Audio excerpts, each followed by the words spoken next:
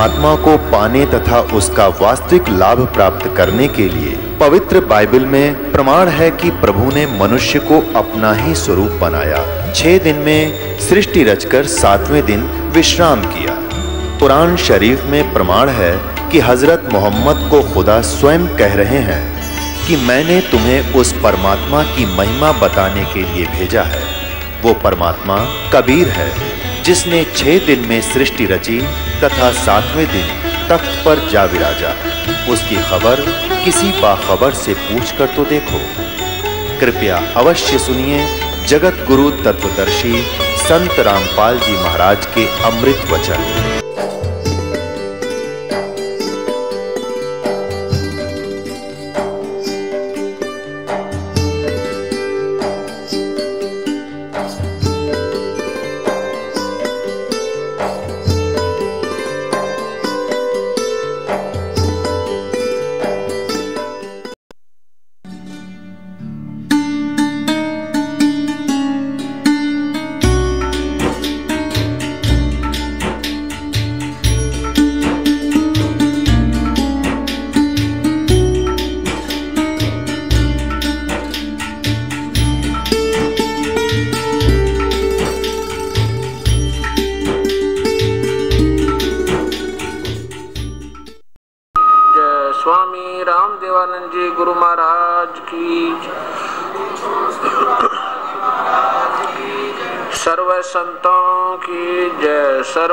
भक्तों की जय धर्मी पुरुषों की श्री काशी धाम की जय श्री छुडानी धाम की जय श्री क्रोथा धाम की सात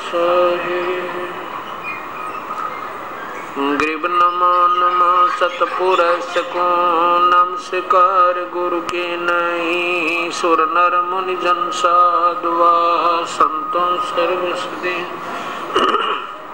सतगुरु साहेब संत सब डंडो तुम प्रणाम आगे पीछे मध्य हुए, तिनको जा कुर्बान।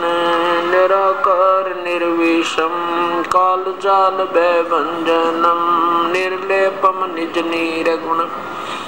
अकल अनुप बेसुन धुनम सोहम सुरति समाप्तम सकल समाना नीरतले उज्ज्वल हिरंबर हरदमम बेपरवा था वार पार नहीं मत तम ग्रीब जो सुमर सद होई गणनायक गलता ना करो अनुग्रह सोई पारस पद परवन अति गणेश मनाऊं, गणनायक देवन देवा, चरण कमल लो लाऊं आद्यंत करु सेवा, परम शक्ति संगीतम। हृदय सिद्ध, अवगत गुण यतीतम सतपुरुष निर्मोही, जगदम्बा जगदीशम। मंगल रूप मुरारी।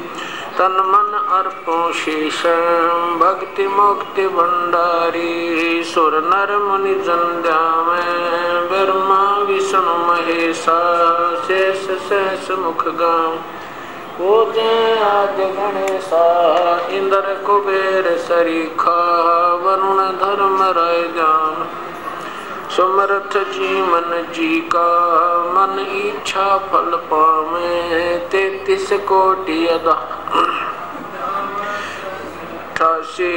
उतर जल पारा, कट है इनकी फांसी, तैतीस कोटि अदारा ध्यान से अठासी, उतर जल पारा, कट है यम की फांसी।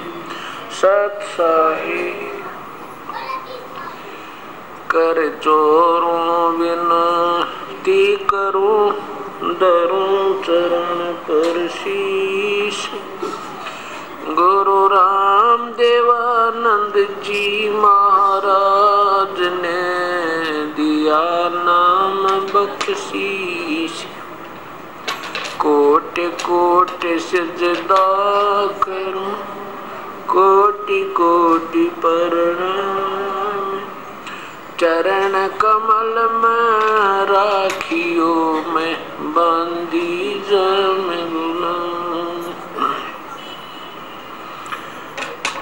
अवगुण किए तो बोत किए, करत न मनी हारे। बावे बंदा बख्श दियो, बावे गर्दन उतार। अवगुण मेरे बाप जी, बख्शो गरीब नवाज़।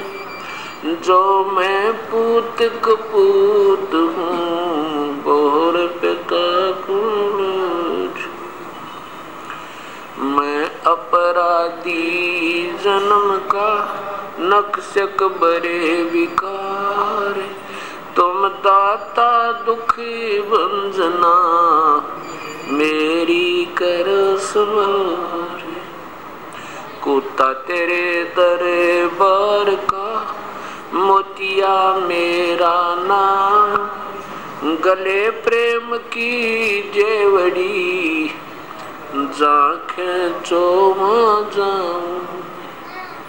तो तो करो तो बावड़ू, दूर दूर करो तो जाऊँ। जो राखो तो ही रहूँ। जो देव सुख।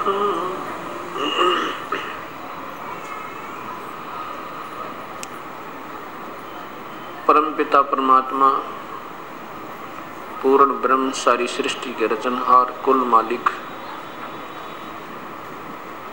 कबीर परमेश्वर की असीम रजा से ये सत्यनारायण कथा प्रारंभ हो रही है। सत्यनारायण का अर्थ होता है अविनाशी परमेश्वर। हम उसे सत साहेब कहते हैं। सत साहेब कहो चाहे सत्यनारायण कहो। अमर पुरुष कहो, अकाल मूर्त कहो, शब्द स्वरूपी राम कहो, परम अक्षर ब्रह्म कहो, परमेश्वर कहो। राम कहो, अल्लाह कहो, गॉड कहो, चाहे रब कहो, खुदा कहो, ये शक्ति बोधक और पर्यायवाची भाषा भिन्न शब्द होते हैं। जो प्राणी सत्संग के अंदर आते हैं, उनको ज्ञान होता है कि मानो श्री परमेश्वर ने किस वास्ते दिया था। इसका वास्तविक क्या कर्तव्य था, इससे हमने क्या लाभ उठाना था और हम कर क्या रहे थे।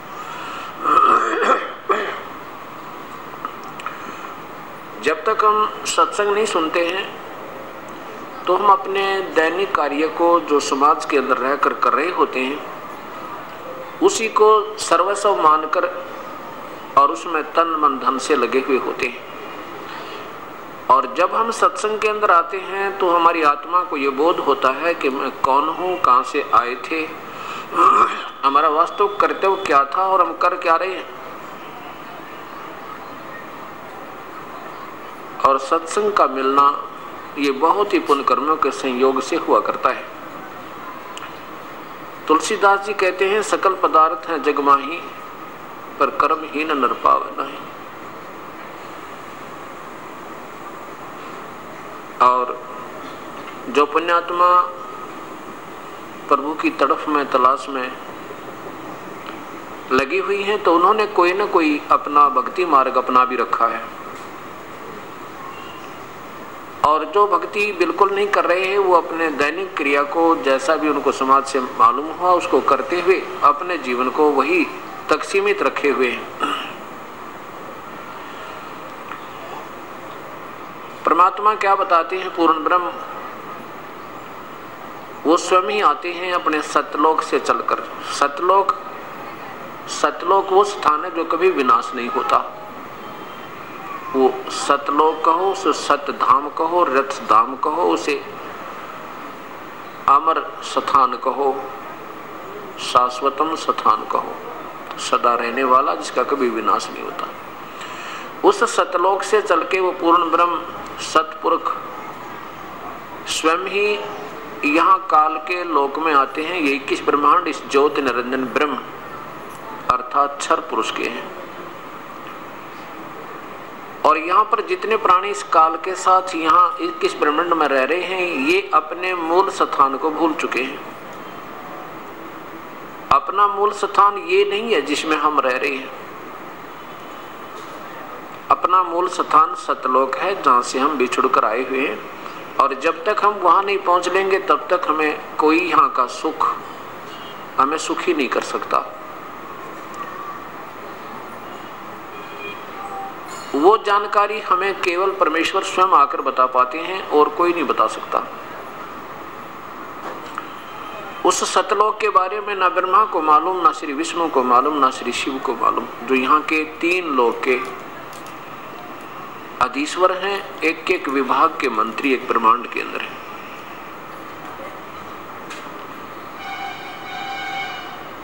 जब वो परमेश्वर स्वयं आते हैं तो वो क्या बताते हैं?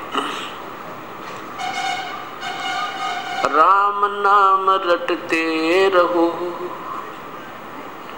जब तक घट में प्राण, कभू तो दीन दयाल के भनक पड़ेगी कानी। मानुष जन्म पाय के, नहीं रटे हरि नाम। जैसे कुआ जल बिना फिर बनवायो क्या काम है? कबीर हरि की भक्ति करो तज विषयों रस चोजी।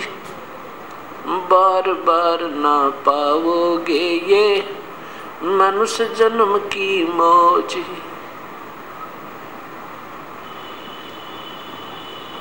राम रटत कोडी भलो चू चू पड़े जो चामे।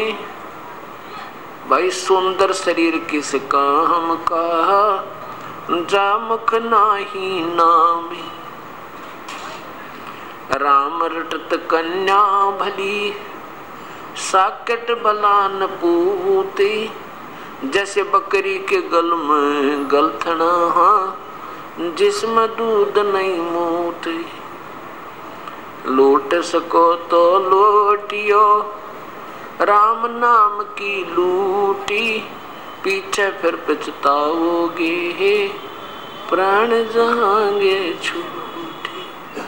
राम रटत दारिद्र भला, टूटी घर की छान, वो सुंदर महल किस काम के छा भक्ति नहीं भगवान।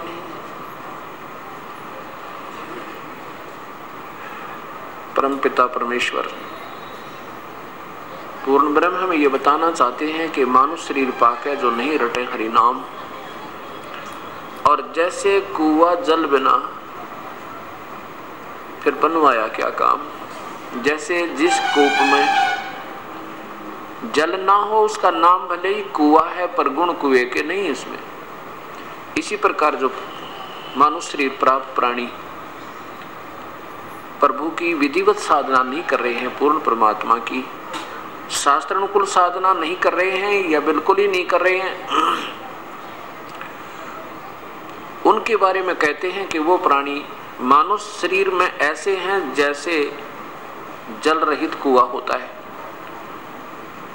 मानो नाम अवश्य है, पर मन, गुण मनुष्य के नहीं है। मनुष्य का पहला गुण प्रथम कर्तव्य, प्रभु की आराधना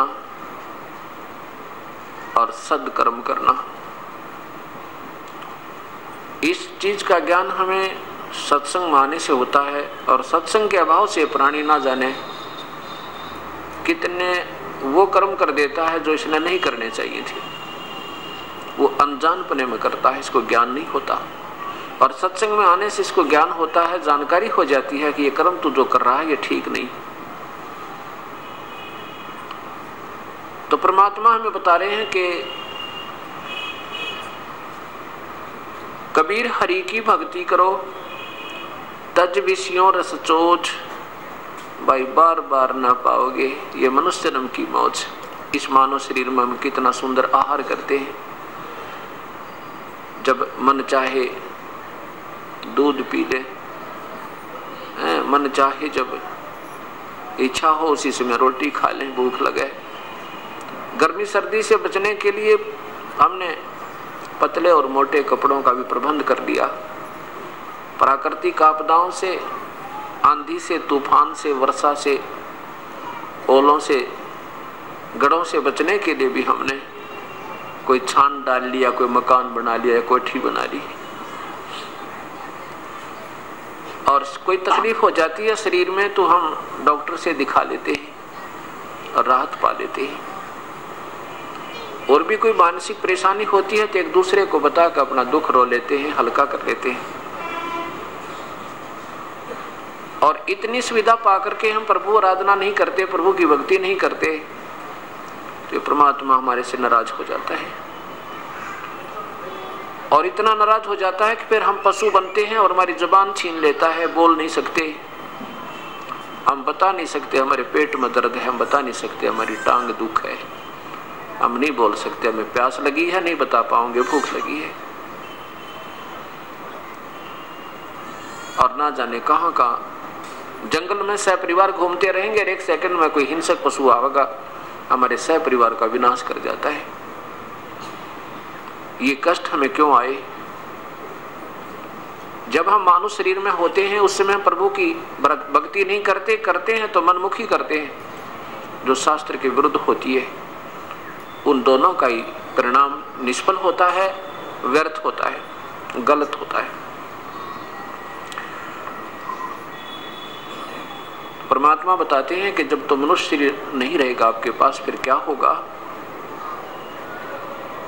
फिर पीछे तू पशुआ की जय दी, दीजे बैल बना और चार पैर जंगल में डोले तेरा तो नहीं पेट भरे। एक बार विचार करके देखो उस बैल के जीवन पे। पर हम मनुष्य शरीर पा के इतनी सुविधा हो जाती है कि हम सोचते भी नहीं कि कभी हमारे साथ ये कैर टूट जाएँगे। या हमारे पास हमारे ऊपर भी ऐसी समस्याएँ पहले भी आई होंगी या आगे भी आ जाएँगी। इस दास को याद है जब छोटा सा था, एक बैल था हमारे। ये उपदेश लेने के बाद वो बातें फिर याद आने लगी, नहीं पहले तो अपनी गफलत में फिरा करते थे। भक्ति भी करते थे, जैसी समाज से ज्ञान था। एक बैल था, उस बैल के पिछले पैर के खुरों में, और इतनी लंबी लोहे की कील घुस गई। सुबह सुबह अंधेरे में जा रहा था। और सारा दिन चलते चलते वह पूरी बैठ गई। उसके नीचे की टोपी नहीं थी वो ऊपर कैप होता है वो नहीं था वो कंड रिजेक्ट करके डाल रखी थी और वो सारी अंदर घुस गई। अब शाम तक बैल का पैर भी सूज गया और ज़मीन पर नहीं रख, रखा जा रहा। अब ऐसे कोई गाँव में देश वैद हुआ करते देसी वो बुलाया उसने कहा इसके गोड्डे में घुटनों में कोई नस पे नस चढ़ गई है। और हो जाएगी, ठीक। उसके घुटने पे गोड्डे का ऊपर पट्टी बांधनी शुरू कर दी। गरम गरम कोई बाँध कर जड़ी बूटी। कील लगी है खुर में और पट्टी बंद रही घुटने पे। अब वो बोल नहीं सकता, वो बता नहीं सकता बेचारा। उठ नहीं सकता, पड़ा रहा एक महीने तक। एक महीने के पीछे उसकी अपने आप वो पक के और अपने आप उसमें रेसा निकला। जब घर वालों की दृष्टि पड़ी, फिर उसको किसी बुला बुला के उसमें से वो देखा, इतनी लंबी कील निकली। ओए वो बात अब याद आती है। ये परमात्मा जब ये मनुष्य शरीर में होगा, उस नादान प्राणी ने कभी सोचा भी नहीं होगा, ये ये ये दुर्गति तेरी हो जाएगी। अब ना, ये भी नहीं बता पा मेरे दर्द कहाँ है। इसलिए परमेश्वर हमें याद दिलाते नादान ये दो दिन के इस दो दिन के झूठे सुख ने पाक है तुम भूल गया उस भगवान को। फिर याद करो परम पिता को। कोई बात नहीं, कहते पीछे गई सो जाने दे। बाकी की बचाओ अपनी। अब जो पुण्यात्मा सत्संग में आते हैं, ऐसा नहीं कि वो भक्ति नहीं कर रहे। वो तो ज़रूर भक्ति कहीं ना कहीं आड उन्होंने ले रखी है। तभी तो उनमें कसक है कि संत के दर्शन करने चलते हैं। संत आए हैं, नाम सुनते गदगद हो जाते हैं क्योंकि भक्त आत्मा के अंदर एक विशेष कसक होती है परमात्मा की पानी की। और उनको ये भी मालूम होता है कि परमात्मा संत ही रूप में आ जाता है। आता है और फिर वही अपनी महिमा आप बताता है। और ना जाने कब और किस समय उसके दर्शन हो जा इसलिए ये ये प्राणी, ये पैसी आत्मा उस परम पिता के दर्शनार्थ ये तड़फती रहती है। उसके लिए फिर अपना कहीं ना कहीं ये सत्संग में जाती है फिर वहाँ जा, जहाँ भी हम जाते हैं क्योंकि पुण्यात्मा का एक स्वभाव होता है ये जहाँ भी जाती है इसको सब अच्छे लगते हैं क्योंकि वो स्वयं अच्छे हैं। अब जैसे कोई चोर हो और वो चला जाए रास्ते में जा रहा है कितने देर होगी रात में और वो कहता किसी व्यक्ति जो अच्छी आत्मा का था अभी मैंने रात न रुकना है तेरे यहाँ पर। तो वो पुण्य आत्मा जो जिसमें आप खोट नहीं था, जिसमें वो स्वयं चोर नहीं था, वो नेक आत्मा था, वो उसको एक नेक आत्मा समझता है और कहता आ जा भाई, रुक जाओ, कोई बात नहीं, आप आप ही का तो घर है। खाना खिलाता है और वही सुला देता है जहाँ वो आप सोया हुआ होता है। क्योंकि उसको, उसके मन में ये नहीं कि ये चोर है, क्योंकि वो स्वयं चोर नहीं। और वो चाहे भले ही रात्रि में कोई नुकसान भी कर जाए उसका, पर उस समय उसके मन में ये नहीं आता, ये वास्तव में चोर होगा, क्योंकि वो स्वयं चोर नहीं। और चोर के घर पर जाकर चाहे कोई सा भी रुक जाओ कितना नेक आत्मा डट जा रहा था ना वो सारी रात चोर ना सोए। कहीं कुछ उठा ना ले जा रहा था नहीं क्योंकि वो स्वयं कम, कमज़ोरी उसके अंदर है। ऐसे जो पुण्यात्मा होती है उनमें आप दोष नहीं होता। इसलिए वो जो भी जहाँ जाते हैं जिस भी स्थल पर जाते हैं किसी संत के दर्शनार्थ जाते हैं उनके वचन सुनते हैं तो उनको सभी संत बहुत अच्छे लगते हैं। सबके विचार अच्छे लगते हैं। और सब प्रभु की का मार्ग ही बताते हैं। इसलिए पुण्यात्माओं में एक प्रभु के पाने की विशेष तरफ़ होने के कारण वो स्वयं कोई अपने मन में एक वाद विवाद भी नहीं आने देते। अब कहने का तात्पर्य दास का ये है कि हम कोई भी कार्य को करें उससे पहले हम उसके बारे में पूर्ण परिचय, परिचित होना चाहिए। अब जैसे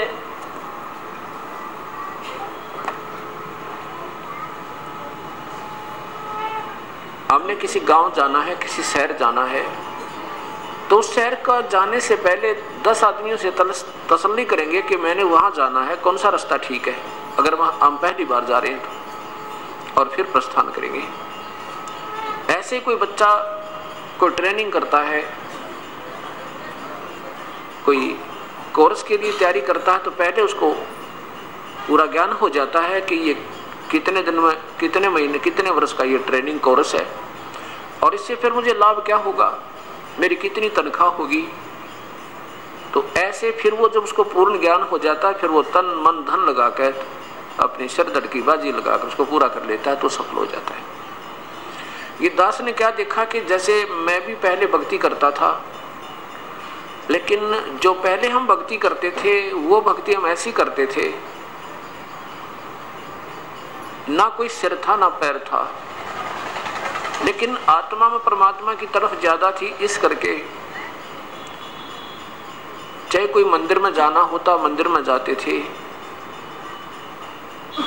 या किसी तीर्थ पर कोई संकेत कर देता कि वहाँ जाने से हमारे बहुत लाभ होते हैं, तब वहाँ भी पहुँच जाते थे।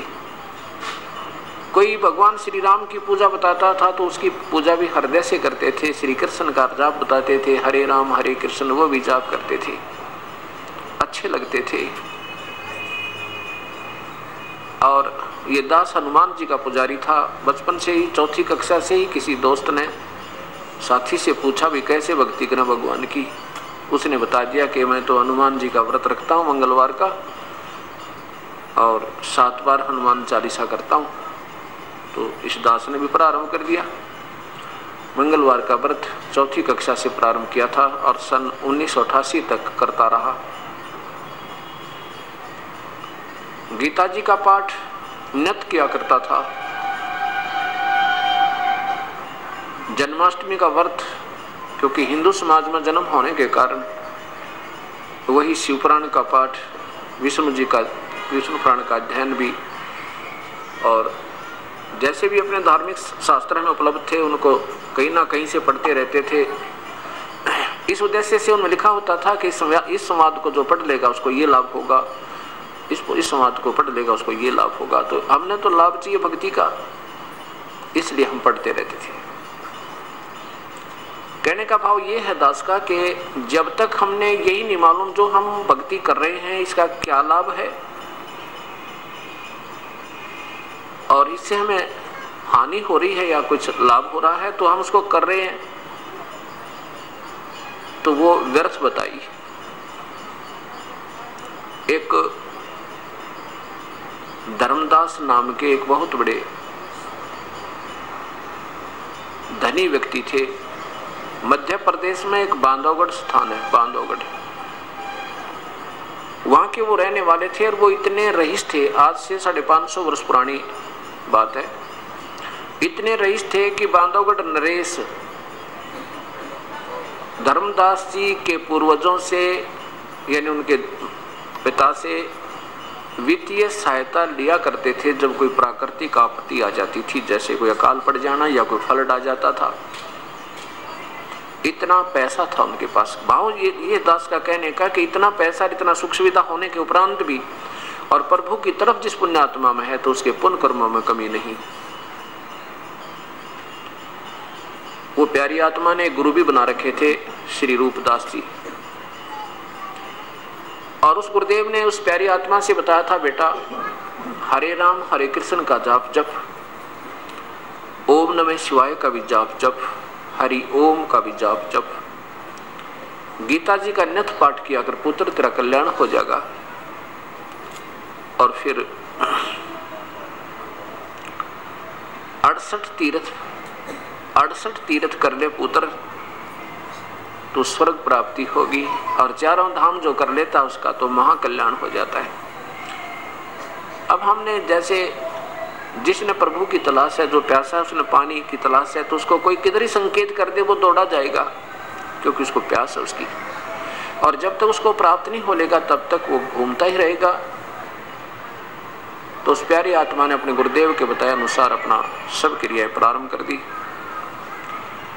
गुरुदेव के आदेश अनुसार जब वो तीर्थ भ्रमण पर निकला तो सबसे पहले मथुरा पहुँचा। मथुरा में जब पहुँचे तो वहाँ क्या किया कि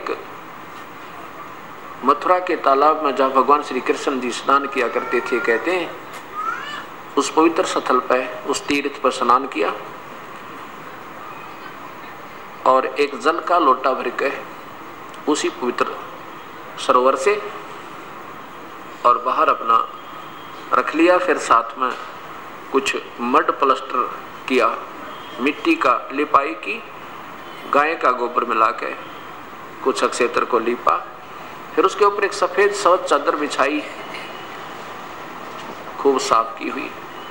उसके ऊपर पहले कर्म कांड किया भगवान श्री कृष्ण जी की मूर्ति, अर्थात विष्णु जी की, ठाकुर जी की मूर्ति को एक सुंदर प्लेट पर रख के उसको नहलाया साफ़ पानी थे फिर पुराने कपड़े निकाल के अलग रख दिए थे, फिर नहलाया, फिर स्वच्छ कपड़े पहनाए, फिर कंठी डाली, तिलक लगाया, मुकुट रख दिया और फिर धूप दीप लगा के गीता जी का पाठ प्रारंभ किया।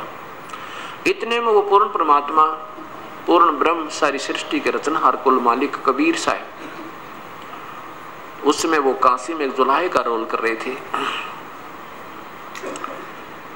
वहाँ आकर बैठ के उस प्यारी आत्मा से ज़्यादा से ज़्यादा 20 या 30 फुट की दूरी पे और बड़े ध्यान पूर्वक देख रहे हैं उसकी क्रिया को, धर्मदास जी की क्रिया को। जब धर्मदास जी ने देखा कि ये और क्या स्वरूप बना रखा था परमेश्वर ने, एक ज़िंदा महात्मा का, ज़िंदा महात्मा कैसे होते हैं? मुसलमानों में होते हैं ज़िंदा महात्मा, संत।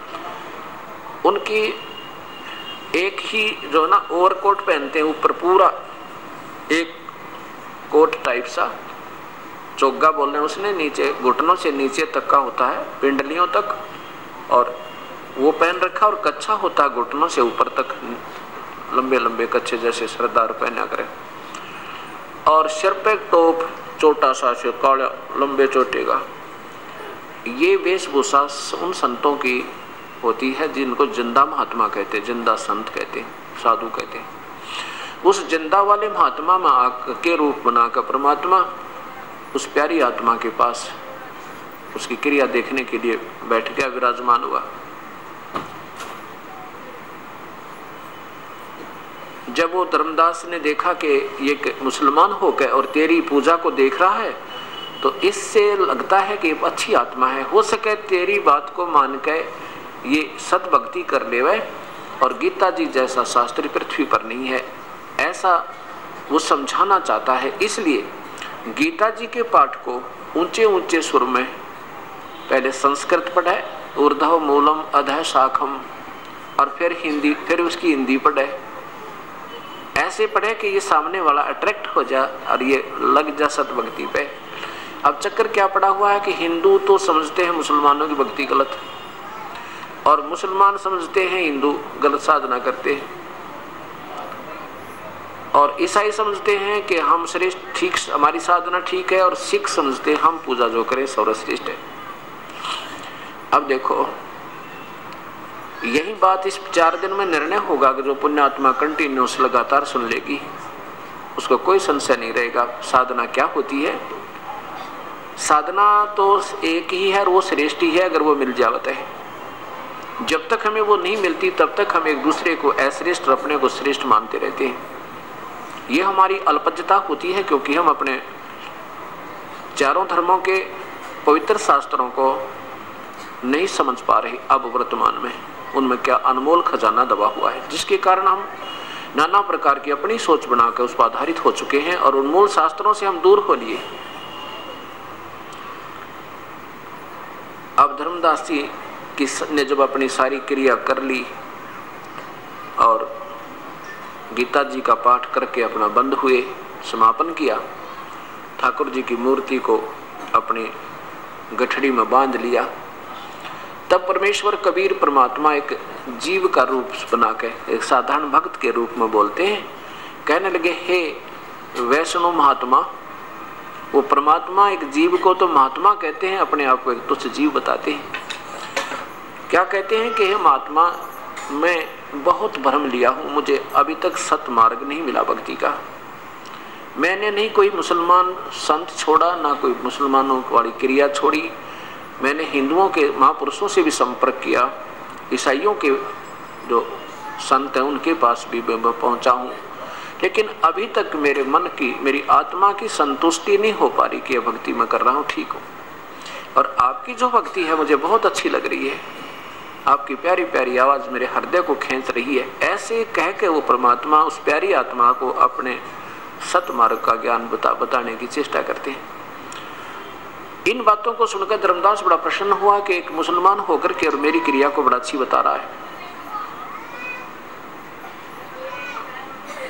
तो बताने लगा, कहने लगा, ज़िंदा बैठ जा, तेरे भाग बड़े, जो आप मुसलमान होकर के और मेरी बात को भी सहन कर लोगे, बताऊँगा, उसको सुनोगे।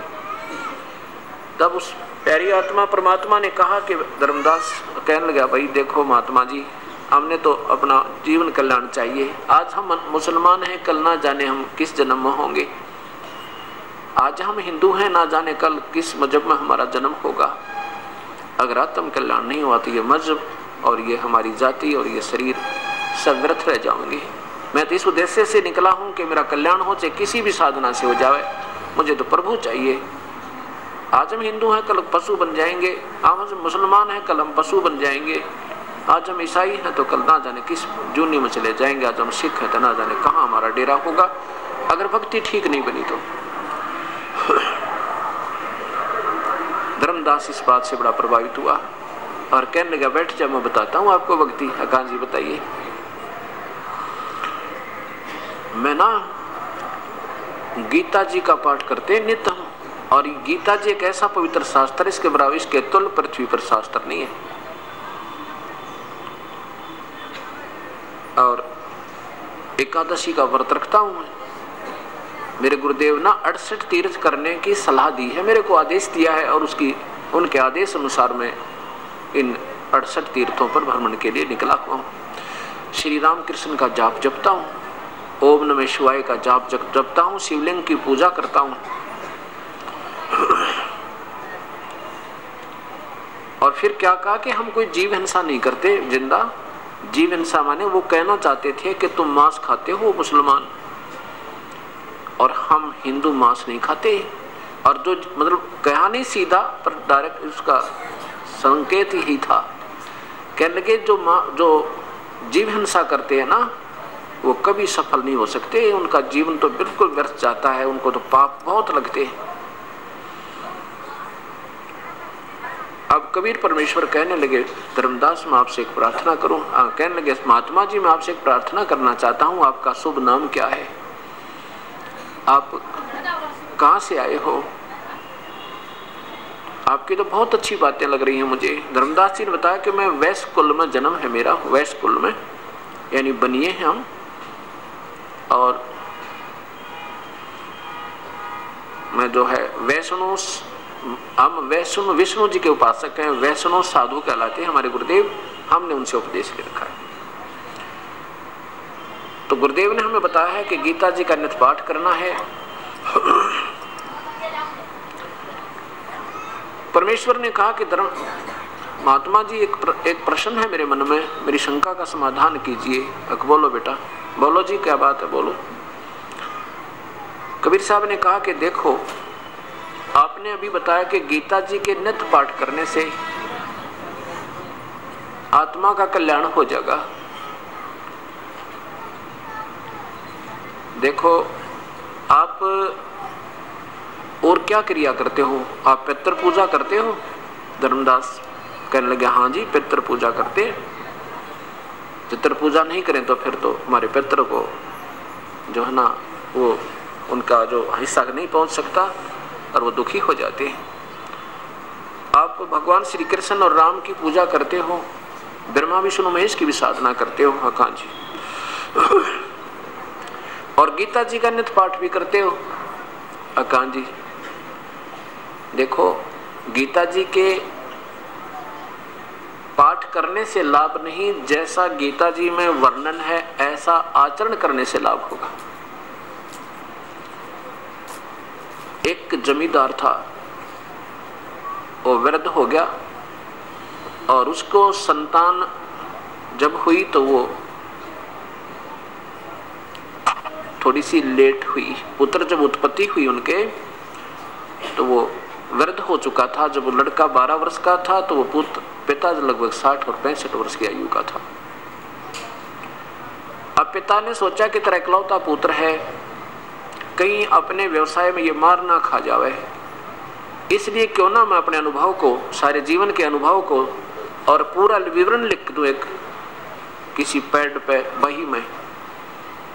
उसने अपना पूरा एक्सपीरियंस हर क्रॉप का, हर फ़सल का किसमें बीजनी चाहिए, उसमें कितना, एक एकड़ में कितना बीज डलेगा, कितनी बार उसकी, किस समय में उसमें पानी डाला जाएगा, किस समय उसमें खाद डालनी है, फिर क्या स्थिति होगी, उसको कैसे संभालना है, ऐसी स्थिति हो जाए तो उसमें ऐसे खाद डालना है। तो सब कुछ लिख के और एक पूरी बही के अंदर, यानी एक पैड में लिख दिया। और कहा, पुत्र, इस पैड को पढ़ना और इसके अनुसार बेटा खेती करना तो अपना व्यवसाय करना तो सफल रहेगा। अब एक बात बताओ धर्मदास जी, परमात्मा पूछ रहे हैं उस प्यारी आत्मा से कि अगर वो जमींदार का पुत्र उस लिखे हुए लेख को पिताजी के द्वारा लिखे अनुभव को डेली पढ़े और ऐसा करेगा नहीं जैसा उसमें वर्णन है तो क्या होगा? क्या वो धनी हो जाएगा? क्या उसका कल्याण होगा? उसको लाभ होगा? धर्मदास जी कहने लगे, नहीं जी, बिल्कुल नहीं हो सकता, वो तो भूखा मरेगा। तो ठीक इसी प्रकार, जैसा अपने अपने पवित्र शास्त्र गीता जी में लिखा है ऐसा आप नहीं कर रहे हो, मैं नहीं कर रहा हूँ तो फिर क्या होगा? कल्याण होगा या हानि होगी? धर्मदास जी कहने लगे जी तो हानि होगी और गीता जी अनुसार हम नहीं करेंगे तो पूजा। तो गीता जी, आप बताओ, गीता जी किसने बोला? पहले ये बताओ मुझे कि गीता जी किसने बोला? धर्मदास जी कहता है, बेधड़के से कि भगवान श्री कृष्ण जी ने गीता बोला? परमात्मा कहने लगे, धर्मदास, यही सबसे बड़ी भूल है। गीता श्री कृष्ण जी ने नहीं बोला। शरीर श्री कृष्ण जी का था, बोलने वाला काल था। और वो काल कौन है, ये ब्रह्मा विष्णु महेश का पिता है। और दुर्गा या शेरा वाली इन तीनों की माँ है। इस बात को सुनकर धर्मदास की तोड़ी चढ़ गई। और कहने लगा, मुसलमान हो गया तू। कहने लगा, तू मुसलमान है ना? इसलिए हमारे देवताओं की तो बेइज्जती करना चाहता है।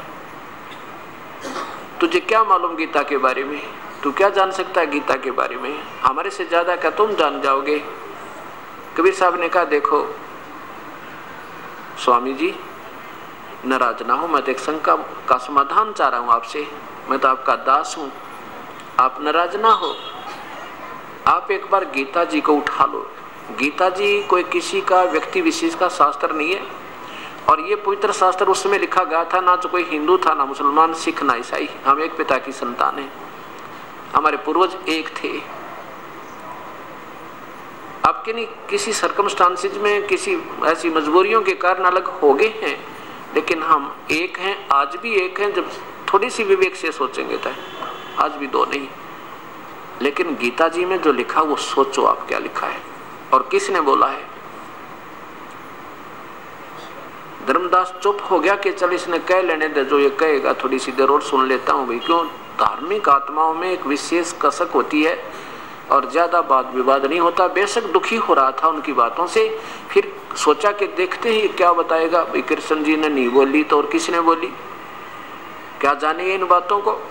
तो ऐसा वो सोचकर परमात्मा ने कहा, देखो, गीता जी के ज्ञान की कब आवश्यकता पड़ी? कि जब अर्जुन युद्ध करने से मना कर देता है। और युद्ध क्यों हो रहा था? कि कौरव और पांडवों का आपस में भाई बंटवारा नहीं हो रहा था। एक भाई बंटवारा था, ये कोई धर्म युद्ध नहीं था। धर्म युद्ध तो वो होता जो सेनाओं पर लड़े, एक एक देश दूसरे पर बदमाशी करे तो उसके लिए सिर की बाजी लगाओ तो धर्म युद्ध होता है। और ये तो एक भाइयों का आपस में बंटवारा था, ये नहीं हो रहा था, लड़ाई होगी। और जब युद्ध दोनों का बंटवारा नहीं हो रहा था तो भगवान श्री कृष्ण तीन बार गए थे, शांति दूत बन के। और दोनों को समझा रहे थे, भैया, लड़ाई ठीक नहीं, युद्ध बहुत बुरी चीज़ होती है। दोनों को बैठकर खूब समझा के देखो, ये सब पृथ्वी यही है, अरबों, खरबों व्यक्ति इस पर कब्जा कर कर मर गए हैं। राजा चले गए इनको पर अपनी राज को बना बना के। आज उनका नामो निशान नहीं है। रावण जैसे चले गए बकवाद करके। भाई, ये युद्ध अच्छी बात नहीं है। लेकिन नहीं माने। बोलो, सतगुरुदेव की जय। बंदी छोड़ कबीर साहेब की जय।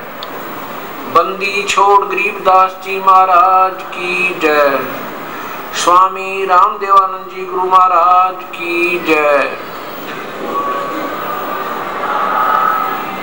सर्व संतों की जय सर्व भक्तों की जय, धर्मी पुरुषों की जय, श्री काशी धाम की जय, श्री छुडानी धाम की जय, श्री करोथा धाम की जय। सत साहिब। ग्रीव नमो नमो सतपुरुष को नमस्कार गुरु की नहीं। सुर नर मुनि जन साधवा संतों सर्वस दीन। सतगुरु साहेब संत सब, डंडो तुम प्रणाम आगे पीछे मत हुए तिनको जा कुर्बान। निराकार, निर्विषम, काल जाल वे वंदन निर्लेपम निज नीर गुणम अकल अनुप बेसुन धुनम सोहम सुरति समाप्तम सकल समाना नीरत उज्ज्वल हिरंबर हरदम बेपरवाह था है वार पार नहीं मद तुम ग्रीब जो सुमर सिद्ध होई गणनायक गलताना करो अनुग्रह सोई पारस पद परवाना आदि गणेश मनाम गणनायक देवन देवा, चरण कमल लाऊं। आज अंत करु सेवा, परम शक्ति संगीतम, हृदय सिद्धि दाता सोई। अवगत गुण अतीतम सतपुरुष निर्मोही, जगदम्बा जगदीशम, मंगल रूप मुरारी। तन मन अर्पो शीशम भक्ति मुक्ति भंडारी सुर नर मुनि जंध्याम ब्रह्मा, विष्णु, महेशा, शेष शेष मुख गाव पूज आदि गणेशा, इंद्र, कुबेर, सरीखा, वरुण धर्म जावे समर्थ देवन जी का मन इच्छा फल पावे, तैतीस कोटि अदारा ध्यावे से अठासी, उतर भव जल पारा कट है यम की फांसी, तैतीस कोटि अदारा से अठासी, उतर भव जल पारा कट है यम की फांसी।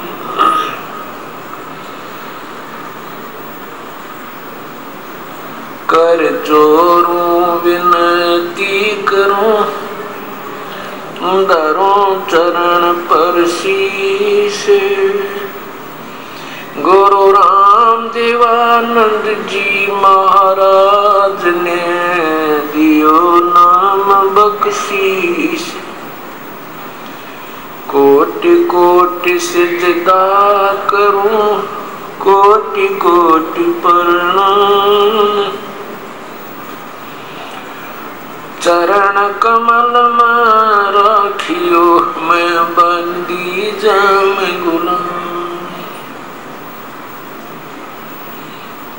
कुत्ता तेरे दरबार का, मोतिया मेरा नाम। गले प्रेम की जेवड़ी जा खेचो जाऊँ मैं। तो तो करो तो बावन, दूर दूर करो तो जाऊँ। जो राखो तो ही रहूँ। जो देव सुख। अवगुण किए तो बहुत किए, करत न मानी हार। बावे बंदा बख्श दियो। बावे गर्दन अब गुण मेरे ही बाप जी? बख्शो गरीब नवाज़। जो मैं पूत कपूत हूँ, बहुर पिता को लाज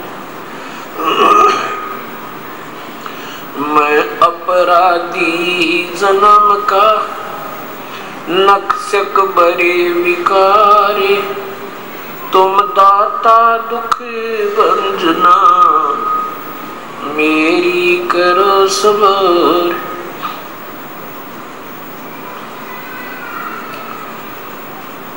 परम पिता परमात्मा पूर्ण ब्रह्म सारी सृष्टि के रचनहार, कुल मालिक, कबीर परमेश्वर की असीम कृपा से आज ये पाँच दिवसीय विशाल सत्संग प्रारंभ हो रहा है।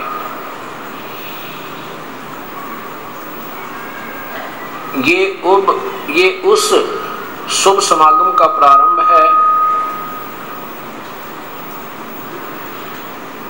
जो उस परम पिता परमेश्वर के अपने सतलोक से इस काल के लोक में प्रगट होने का वो शुभ दिन ज्येष्ठ सुदी पूर्णमासी है। जिस दिन वो परमेश्वर अपने सतलोक को त्याग गए, यहाँ बनारस के अंदर विक्रमी संवत 1455 सन तेरह के अंदर।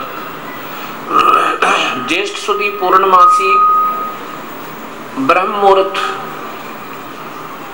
सूर्य उदय होने से डेढ़ घंटा लगभग पूर्व जो होता, उसे ब्रह्म मुहूर्त कहते हैं। मैं आकर के लहर तारा तालाब वाराणसी अर्थात काशी के अंदर एक बालक रूप बनाकर, एक कमल के फूल के ऊपर विराजमान हुए थे।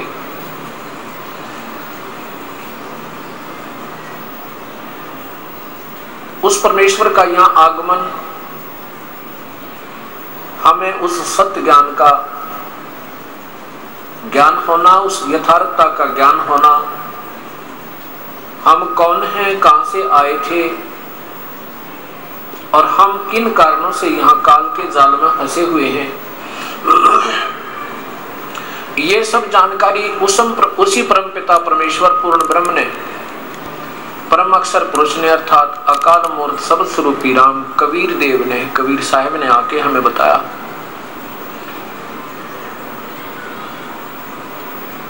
उसके उपलक्ष्य में ये पाँच दिवसीय विशाल सत्संग मनाया जा रहा है।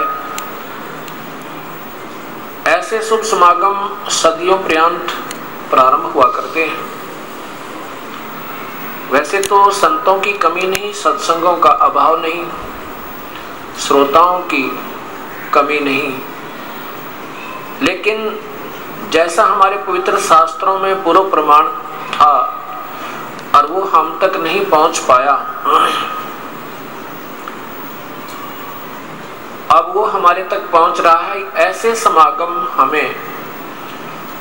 अगर ये दास कहे कि युगों पर्यंत ही प्राप्त होते हैं तो भी थोड़ा समझना।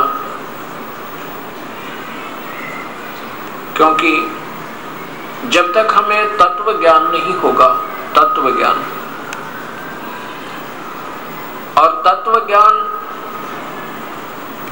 के बिना हमारे सामने वो सच्चाई नहीं आ सकती जो जिसकी हमें युगों से तलाश थी।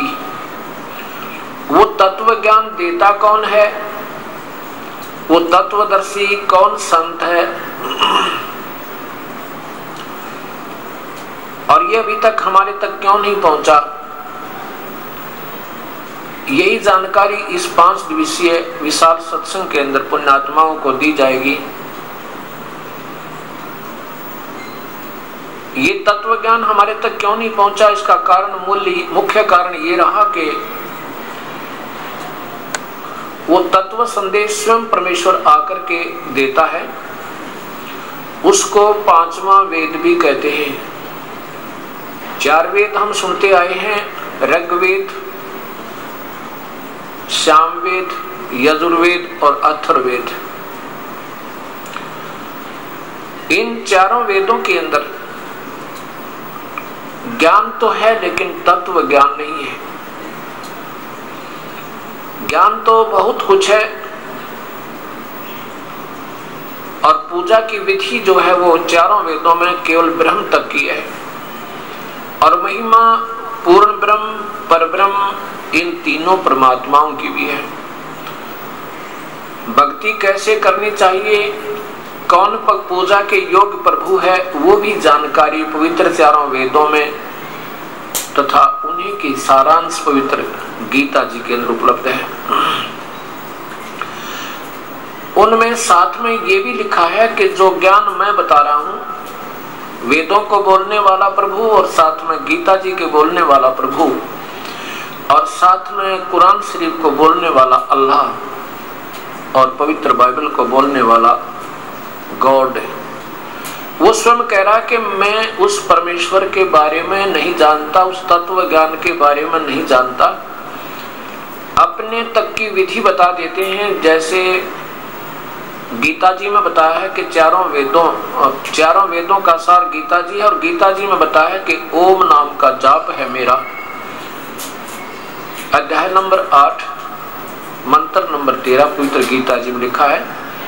गीता बोलने वाला भगवान कहता है कि माम ब्रह्म मुझ ब्रह्म का, ओम इति एक अक्षरम व्यवहारन अनुसमरण। मेरा तो केवल एक ओम नाम है जो उच्चारण करके जाप करना है और ये कब तक सिमरण करना है, ये याति तजन देहम, ते याति प्रमाम गतिम। जो उसको अंतिम श्वास तक तजन देहम, श्वास छोड़ने तक जाप करता है वो मेरी परम गति को प्राप्त होता है। कौन गीता बोलने वाला भगवान कहता है कि मे, मेरा तो केवल ओम नाम है। और ओम नाम के जाप से मेरे से जो लाभ मिलेगा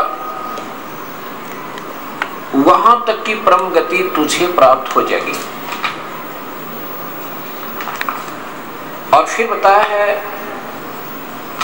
कि मेरी जो गति है, मैं जो साधना दूँगा मुझसे जो लाभ तुझे होगा, वो भी पूर्ण नहीं है, वो भी अनुतमाम है।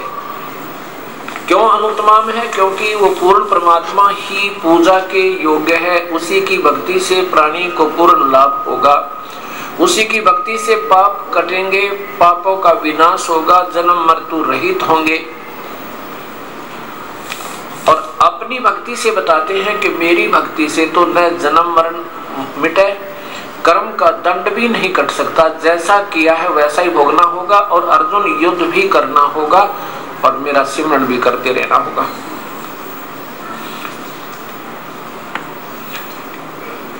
अब ये तत्व ज्ञान आपके सामने आ रहा है। ये सब मिलाकर ही पांचवा वेद होता है। जिसमें वर्तमान के सभी शास्त्रों का सारांश और साथ में उस परम पिता का वास्तविक ज्ञान, इसे तत्व ज्ञान अर्थात सूक्ष्म वेद सबसम वेद के नाम से जाना जाता है। देखिएगा पवित्र गीता जी। गीता किसने बोला है? ये ब्रह्म बोल रहा है। ये काल बोल रहा है गीता जी को।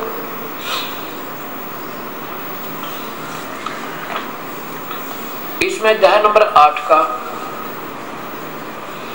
और नीचे देखिएगा ये तेरह नंबर श्लोक है, मंत्र है।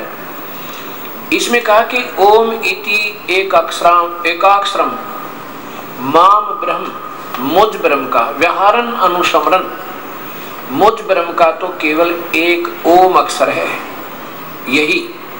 इति माने यही एक ओम अक्षर है यह प्रयाति तजन देहम, और जिसको अंतिम श्वास तक उसकी साधना करनी होगी, जो अंतिम श्वास तक या शरीर छोड़ने तक, तजन देहम, शरीर छोड़ने तक, सहयाति परमाम गति वो मेरी परम गति को प्राप्त होता अर्थात मैं जो लाभ दे सकता हूँ, ब्रह्म बोल रहा है तो वो उसको प्राप्त होगा जो केवल ओम नाम जपेगा, अन्य कोई मंत्र नहीं।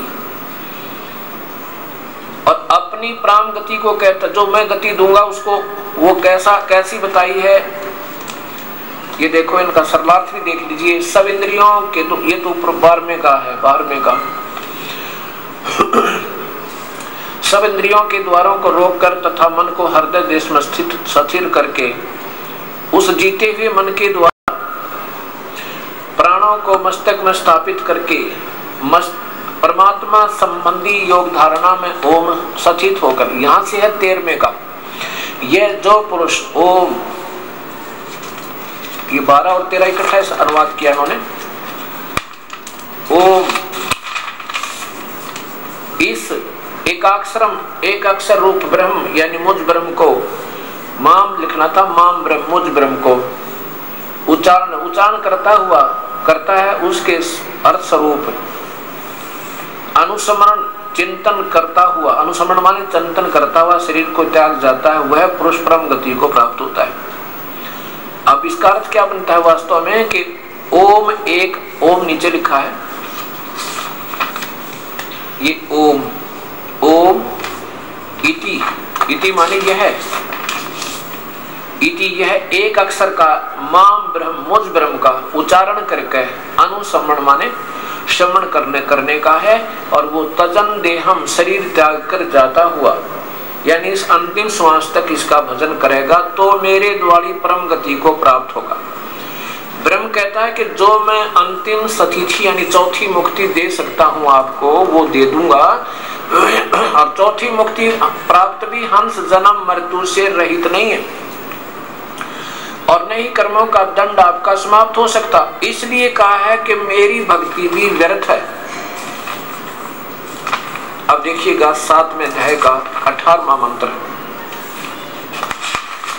गीता बोलने वाला भगवान कहता है कि मेरी भक्ति भी उत्तम नहीं है अनुतमाम है।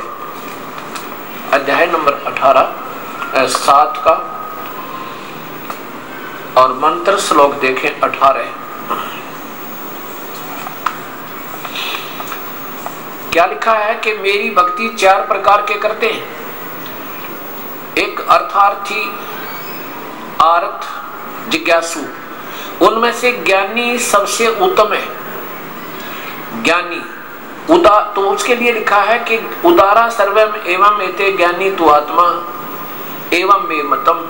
मेरे विचार में ये सभी ज्ञानी आत्मा है तो उदार। जिनको पता लग गया कि परमात्मा की भक्ति के बिना जीव का जीवन व्यर्थ है।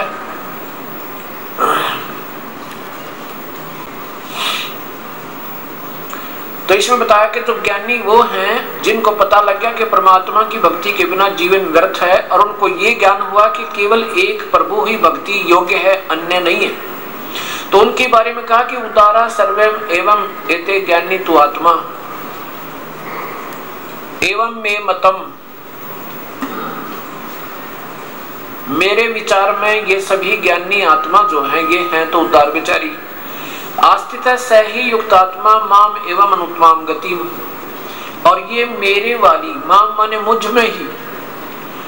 अनुत्माम माने घटिया, व्यर्थ की गति, यानी जो मेरे वाली परम गति है, उसको स्वयं भगवान कह रहे अनुतमाम मेरी इस अनुतमाम गति में आश्रित रही, क्योंकि उनको वो पूर्ण परमात्मा का मार्गदर्शन करने वाला तत्वदर्शी संत नहीं मिला। आप देखिए। इन्होंने अनुत्तमा माने क्या लिखा है? अति उत्तम लिख दिया। ये लिखना चाहिए था, अति व्यर्थ। अनुत्तमा माने अति उत्तम नहीं होता। अब देखिएगा, चौथे जाएगा चौतीसवें श्लोक में लिखा है कि, अर्जुन, अगर तुझे परम पिता पूर्ण ब्रह्म की भक्ति चाहिए तो उस तत्वदर्शी संत की तलाश कर ले। और उस ज्ञान को तू तत्वदर्शी ज्ञानियों के पास जाकर समझ। अध्याय नंबर चार का